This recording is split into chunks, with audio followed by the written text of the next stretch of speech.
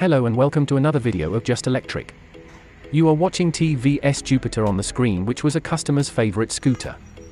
Customer wanted us to retro convert this scooter so that they can keep this scooter with them. This scooter was in very good condition but the engine of the scooter was completely damaged. Customer wanted us to retro convert this scooter and make it fully electric. So we started the work of full electric conversion. Here's a basic overview. How was the condition of the scooter when it came to us and what all changes are going to happen in it? Whenever a scooter comes to us we first remove the panels. We remove all the panels of the scooter so that we can remove the engine of the scooter. Along with the engine, we also remove some components like the rear wheel, silencer, carburetor. We remove all the parts of the IC engine. The chassis of the scooter was completely rusted so we re-welded it and strengthened it. We also put the battery box in the right place so that the battery can get a good strength, and the battery can be kept in its place for a long time.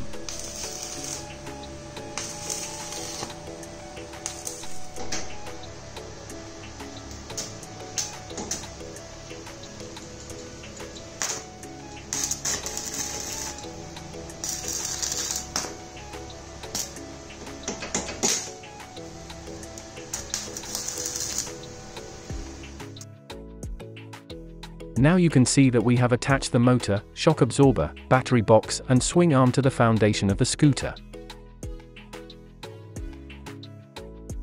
Now we will move towards the wiring.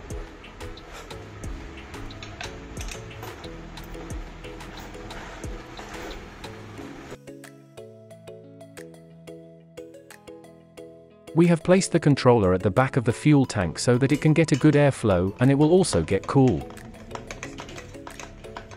If ever we need to troubleshoot, we can easily access it by removing the rear panel.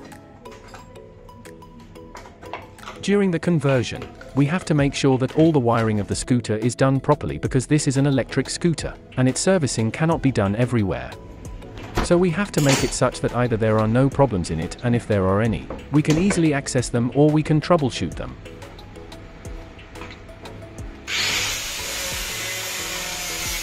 Here we attach the controller and the wiring in such a way that it can be accessed easily later and it can be fixed. Now we are fitting the front panel where we are attaching the horn, light and display so that we can check the percentage of the battery and the voltage of the battery.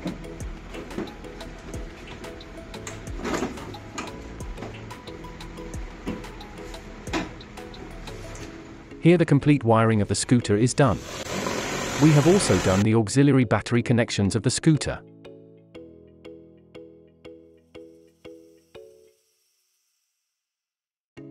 Now we are attaching the boot.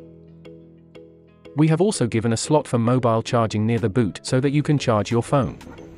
Our conversion is complete and now we take out the scooter for a test ride. In the test ride, we check whether there is any issue in the scooter.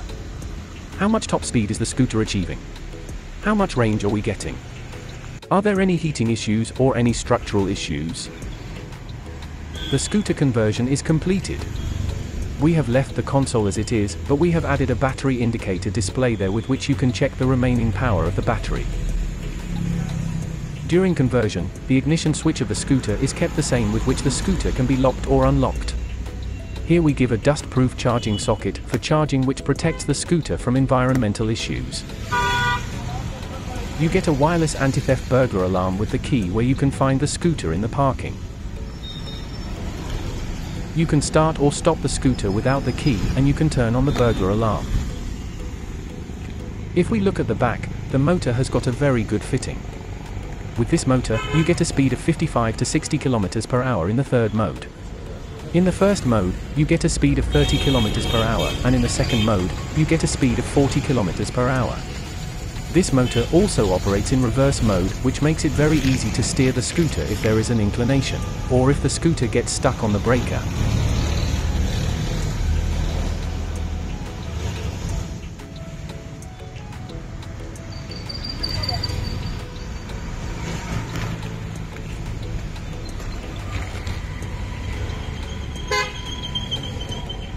Let's open the boot of the scooter and see how it is. The boot stays as it is. You get the space of the boot in the full electric conversion. We also provide a USB socket where you can charge your phone, power bank or any other 5V device.